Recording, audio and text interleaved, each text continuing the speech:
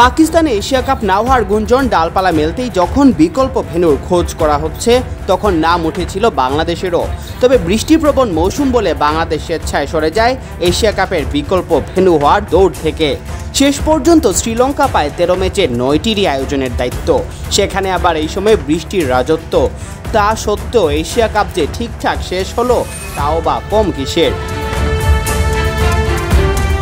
এতে মূল অবদান কিউরেটর আর মাঠ কর্মীদের, যারা বৃষ্টির ফাঁকে একটু ফুরসত পেলেই মাঠ প্রস্তুত করতে নিজেদের নিংড়ে দিয়েছেন। দিনরাত জেগে থেকে উইকেট আর আউটফিল্ডকে খেলার উপযোগী করে রেখেছেন।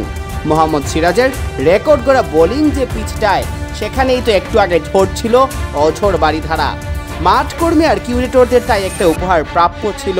সেই পুরস্কার বা উপহার দিতে দেরি করেনি Asian Cricket Council ACC.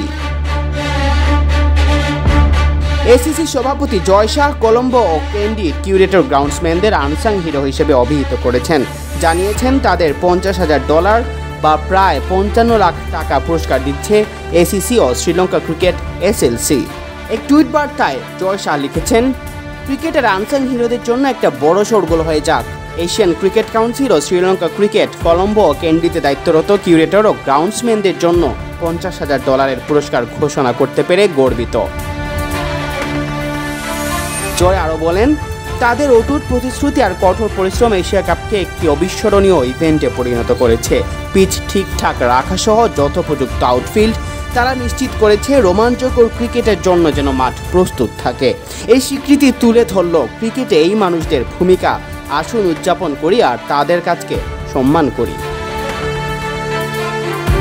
Asia কাপের ফাইনাল ম্যাচও বাগড়া দিয়েছিল বৃষ্টি। বাধ্য হয়ে জাতীয় সংগীত ছাড়াই শুরু করা হয় ম্যাচ।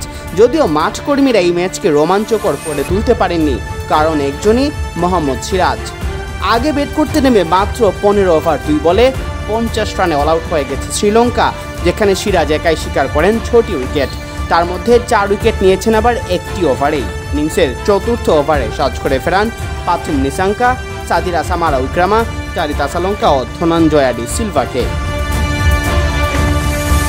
এশিয়া কাপে এতদিন সবচেয়ে কম রানে অল আউট হওয়ার নজির ছিল বাংলাদেশের। এখন এই রেকর্ড শ্রীলঙ্কার দখলে। দু হাজার সালে পাকিস্তানের বিপক্ষে বাংলাদেশ গুটিয়ে যায় সাতাশি রানে।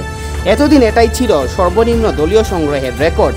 তবে এখন বাংলাদেশকে মুক্তি দিয়েছে শ্রীলঙ্কার পঞ্চাশ রানের লজ্জা। Siam Chowdhury, BD Time.